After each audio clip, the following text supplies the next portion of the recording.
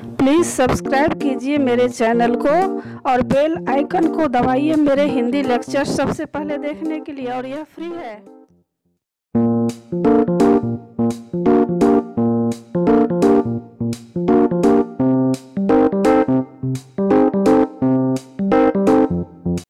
Hello बच्चों, मैं मंजू कुमारी, आज आप लोगों को क्लास नाइन कृतिका भाग वन का पाठ माटी वाली पढ़ाने का क्वेश्चन आंसर जो है, प्रश्न उत्तर पढ़ाने जा रही हूँ। और इससे पहले जो है, मैं माटी वाली जो भी है, पाठ उसका पूरा एक्सप्लेनेशन की हूँ। आप उसे देख लीजिएगा। और अभी मैं आप लोगों को एग्ज़ाम के लिए कुछ क्वेश्चन आंसर बता रही हूँ। तो माटी वाली जो पार्ट है, उसमें दिया है पहला क्वेश्चन कि शहरवासी सिर्फ़ माटी वाली को नहीं, उसके कंटर को भी अच्छी तरह पहचानते हैं। आपकी समझ में हुए कौन से कारण होंगे जिसके रहते माटी वाली को सब पहचानते थे? तो आप उत्तर यह दे सकते हैं कि शहरवासी माटी वाली तथा उसके कनस्तर, जिस पर वो मिट्टी रखती थी कंटर में, को इसलिए जानते होंगे क्योंकि पूरे टिहरी शहर में केवल वही अकेली माटी वाली थी जिसका कोई प्रतियोगिता नहीं था, प्रतियोगी नहीं था। मतलब एक ही वह बेचती थी वही सबके घरों में लिपने वाली लाल मिट्टी दिया करती थी। लाल मिट्टी सबको ज़रूरत होती थी। इसलिए सभी उससे जानते थे, क्योंकि लाल मिट्टी से चूल्हा बनाते थे। घर को लिपने का काम एकदम इम्पोर्टेंट था, उसको ही करना है। आजकल तो शहर में, हर गाँव में जो है सीमेंट घर में लगे हुए मिलते हैं, लेकिन उस टाइम में जो है मिट्टी से ही घर की लिपाई पोताई होती थी। इसलिए मिट्टी बहुत ज़रूरी था। तो सब उसके ग्राहक बन गए थे। वह पिछले अनेक वर्षों से शहर की सेवा कर रही थी। इस कारण स्वाभाविक रूप से सभी लोग उसे जानते थे। माटी वाले की गरीबी, फटेहाली और बेचारगी भी उसकी पहचान का एक कारण रही होंगी। मतलब गरीबी के कारण उसको यह काम अपनाना पड़ा। अब आगे का क्वेश्चन दूसरा यह है कि माटी वाली के पास अच्छे या बुरे भाग्य के बारे में ज़्यादा सोचने का समय क्यों नहीं था? तो इसका उत्तर आप यह दे सकते हैं कि माटी वाली के सामने सबसे बड़ी और अहम समस्या यह थी कि वह अपना तथा बूढ़े का पेट, उसका जो पति थे, उसका पेट कैसे भरेंगे और अगर उसे गाँव छोड़कर जाना पड़ा तो फिर गुजारा कैसे चलेगी। अब तक तो माटा खान उसकी रोजी रोटी बना हुआ था, वहाँ से उजरने के बाद उसका क्या होगा? यह समस्या उसे ऐसा पागल बनाए हुए था कि उसके पास अच्छे या बुरे चीज़ भाग, सोचने का कोई भी भाग्य के बारे में सोचने का समय नहीं था। अब तीसरा प्रश्न आप, यह है कि भूख मीठी की भोजन मीठा से क्या अभिप्राय है? तो इसका उत्तर आप दे सकते हैं कि इस प्रश्न में यह तथ्य छिपा हुआ है कि भोजन मीठा या स्वादिष्ट नहीं हुआ करता है, वह भूख के कारण स्वादिष्ट लगता है। इसलिए रोटी चाहे रूखी हो या या साग के साथ या चाय के साथ, वह भूख के कारण मीठी प्रतीत होती है। क्योंकि जब हमें भूख लगती है तो हर चीज़ खाने में मज़ा लग, अलग ही होता है। अतः रोटी के स्वाद का वास्तविक कारण भूख होती है। अब इसमें प्रश्न यह भी आ सकता है कि पुरखों की गाढ़ी कमाई से हासिल की गई चीज़ों, जब मालकिन बोलती हैं माटी वाली को जब चाय पीने के लिए देती हैं माटी वाली को, मालकिन तो मालकिन यह बोलती है, यह प्रश्न आपको आ सकता है कि पुरखों की गाढ़ी कमाई से हासिल की गई चीज़ों को हराम के भाव बेचने को मेरा दिल गवाही नहीं देता। मालकिन के इस कथन के आलोक में, विरासत के बारे में अपने विचार व्यक्त कीजिए। अगर यह प्रश्न आएगा तो आप क्या दे सकते हैं कि अगर मालकिन कहती है कि उसे अपने पुरखों की सब चीज़ों से मोह है, क्योंकि पुरखे जो होते हैं, माँ, माता, पिता या दादाजी नाना जी ये सब जो पुरखे हो गए हैं, उनका दिया हुआ सामान जो है, वह बहुत ही यादगार होता है। उसके, उसको लोग संभाल के रख, के रखता है। इसीलिए बोल रही है कि पुरखों की सब चीज़ों से मोह है। न जाने उसके पुरखों ने कितनी मेहनत से पेट काट काट काट काट करके चीज़ें बनाई हो। पेट काट काट करके मतलब एक एक पैसे बचा करके। मनपसंद चीज़ उसे अगर खाने का भी मन होता होगा तो खा नहीं पाते होंगे उस चीज़ को खरीदने के लिए और इतने कष्ट से एक एक पैसे को बचा करके जब कोई सामान खरीदते हैं, इसलिए उन चीज़ों को सुरक्षित रखना ज़रूरी है। उन्हें बेचना वह भी बहुत सस्ते में बेच देना बहुत ही गलत बात है। मेरे विचार से मालकिन की बातों में सत्यता है। हमें जहाँ तक हो सके अपने पूर्वजों की निशानी को बचाकर रखना चाहिए। परंतु पुरखों की विरासत का मोह जीवन में बड़ा नहीं होता। अगर जान पर संकट आ जाए तो पुरखों की संपत्ति को बेचने से इनकार नहीं मतलब कहने का यह है कि जब कोई कष्ट आ जाए, ऐसा परिस्थिति आ जाए, तब हमें बेचना चाहिए। सहज स्वाभाविक स्थितियों में हमें उसे सुरक्षित रखना चाहिए। अब प्रश्न आगे, एक और यह भी आ सकता है, माटी वाली का रोटियों का इस तरह हिसाब लगाना उसकी किस मजबूरी को प्रकट करता है? क्योंकि जब वह बूढ़ी रोटी एक एक रोटी का हिसाब लगाती है तो उसके बारे में तो आप उत्तर यह दे सकते हैं कि माटी वाली का रोटियों को इस तरह गिनना बताता है कि वह बहुत गरीब है, उसके पास पेट भरने के पर्याप्त साधन नहीं है, वह रोज कमाती और खाती है। इससे यह भी पता चलता है कि उसे केवल अपना ही नहीं, अपने बूढ़े पति के भी स्वास्थ्य का चिंता है उसका भी पेट का चिंता है, उसे भरना होता है। इसलिए उसे रोटियों का बराबर हिसाब रखना पड़ता है। और आगे प्रश्न यह है कि आज माटी वाली बूढ़े को कोरी रोटियाँ नहीं देगी। इस कथन के आधार पर माटी वाली के हृदय में भावों को अपने शब्दों में लिखिए। अब उत्तर इसका यह दे सकते हैं, माटी वाली एक मजबूर पत्नी है, उसका पति विवश और बूढ़ा है, वह काम करने के योग्य नहीं रहा। वह पूरी तरह अपनी पत्नी पर निर्भर हो चुका है, इसलिए माटी वाली उसका पूरा ध्यान रखती है। वह खुद खाने से पहले उसके लिए बचा कर रखती है, उसमें अपने जीवन साथी के प्रति गहरा प्रेम और लगाव है। सच तो यह है कि अब वह उसके पति, प्रति प्रेम नहीं, वात्सल्य और करुणा रखती है। जैसे अपने बच्चे को लोग बचा करके खाना रखते हैं, अपने भूखे रह जाते हैं, उसी तरह वो अपने बूढ़े पति के लिए करती हैं। जब से बूढ़ा दयनीय दशा में पहुँचा है, वह पति के प्रति सदैव हो उठी है।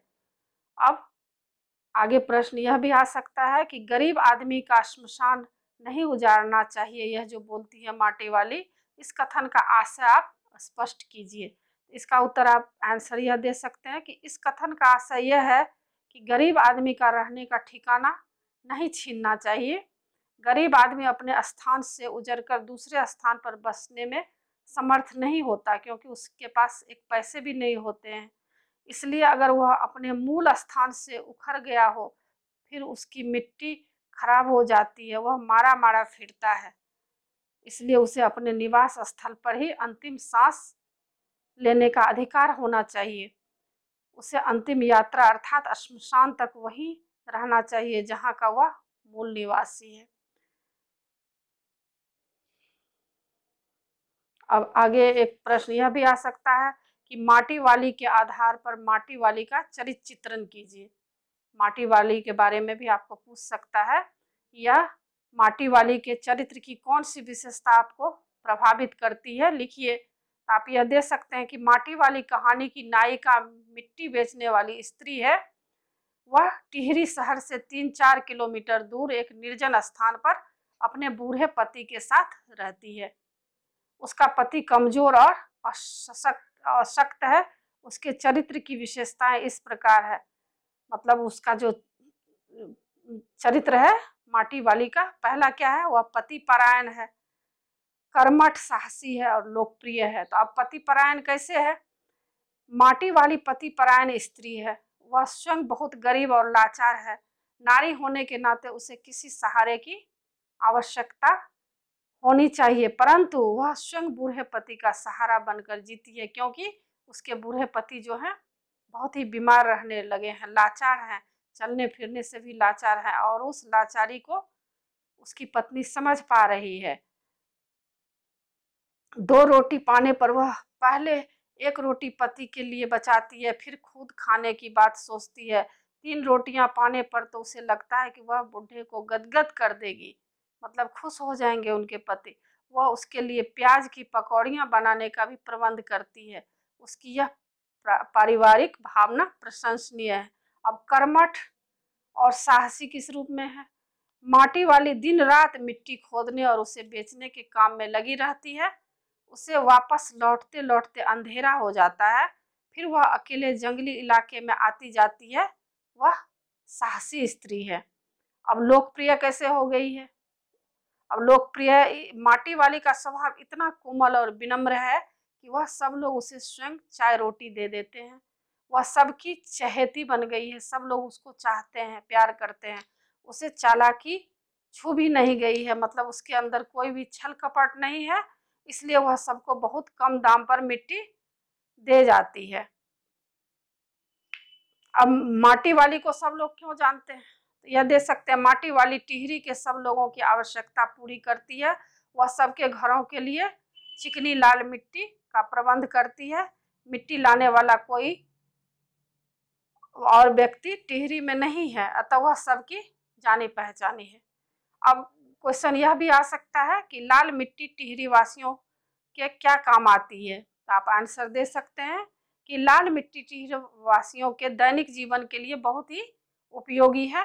टिहरी वासी रसोई बनाने के बाद अपने चूल्हे चौके को लाल मिट्टी से ही लीपते हैं। इसके अतिरिक्त लोग साल दो साल में अपनी दीवारों पर गोबर और मिट्टी का लिपाई करते हैं। जैसे हम लोग घर को पेंट करते हैं, उसमें भी मिट्टी का बहुत काम होता है। अब क्वेश्चन एक और यह भी आ सकता है कि टिहरी में रहने वाले सब लोग माटी वाली के ग्राहक क्यों बन जाते हैं? अब आंसर दीजिए आप कि टिहरी नगर के लोगों के घरों में चूल्हे चौके चिकनी मिट्टी से लीपे जाते हैं, परंतु नगर में जो मिट्टी उपलब्ध है, वह रेतीली मिट्टी है। उसमें बालू वाली मिट्टी होती है, उससे लिपने का काम नहीं हो सकता है, उससे लिपाई नहीं हो सकती है, इसीलिए सब लोग माटी वाली द्वारा लाई गई माटा खान की चिकनी मिट्टी को पाकर बहुत प्रसन्न होते हैं। जो भी एक बार वह मिट्टी लेता है, हमेशा के लिए उसका ग्राहक बन जाता है। अब प्रश्न एक यह भी आ सकता है कि टिहरी के लोग माटी वाले, वाली को खाने के लिए रोटी, चाय आदि क्यों दे देते हैं? तो आप आंसर लिखेंगे कि माटी वाली मिट्टी लाने के नाम से, उनसे नाम मात्र को पैसे लेती है।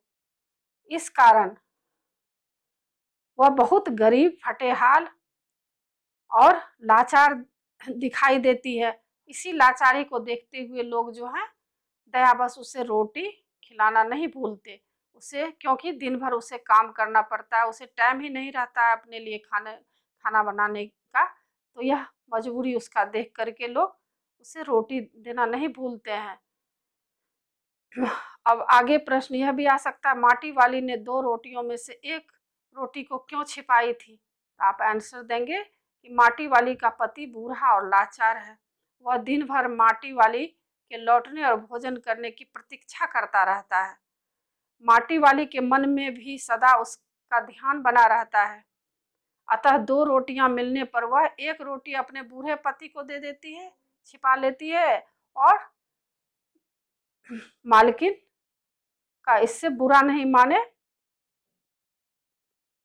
इसलिए वह रोटी को छिपा लेती है। अब आगे प्रश्न। पुनर्वास के लिए माटी वाली को किस समस्या का सामना पड़ा, करना पड़ा है? तो आप आंसर दे सकते हैं कि सरकारी पुनर्वास के लिए, पुनर्वास का मतलब है दूसरे जगह जो वह घर बनाएगी तो उसके लिए कागज़ी प्रमाणों की आवश्यकता थी। माटी वाली बिल्कुल अनपढ़ और दलित महिला है। उसके मन अपने नाम तो कोई ज़मीन नहीं थी न जायदाद, न कोई ठिकाना। माटा खान से मिट्टी खोदना और उसका प्राकृतिक, खोदना भी उसका प्राकृतिक अधिकार था, कानूनी नहीं। अतः पुनर्वास के मामले में वह बिल्कुल लाचार और निरुत्तर हो गई। उसके सामने भविष्य के ठिकाने का संकट खड़ा हो गया। अब क्वेश्चन एक और यह भी आ सकता है कि माटी वाली के हृदय में अपने बूढ़े के प्रति कैसा भाव था? आप दे सकते हैं।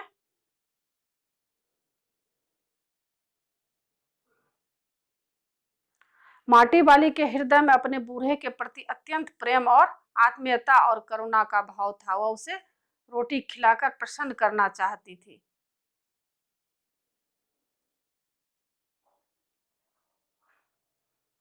अब क्वेश्चन एक यह भी आ सकता है कि टिहरी बाँध पुनर्वास के साहब और माटी वाली स्त्री के मध्य हुई बातचीत इस प्रकार की बाँध योजनाओं पर कैसे प्रश्न चिन्ह लगाती है, समझाइए।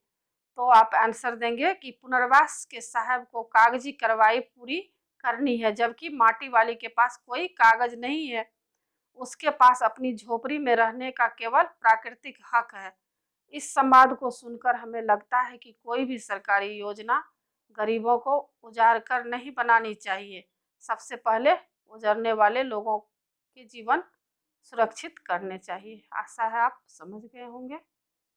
अगर यह आपको मेरा वीडियो पसंद आए तो सब्सक्राइब करना नहीं भूलेंगे और बेल आइकन को ज़रूर दबाइएगा और अगर पसंद आए तो लाइक करेंगे। और कोई भी सुझाव या कुछ भी अगर आपको प्रश्न उत्तर अगर हमसे पूछना है तो मेरे नीचे दिए गए कमेंट्स बॉक्स में आप लिखेंगे। धन्यवाद।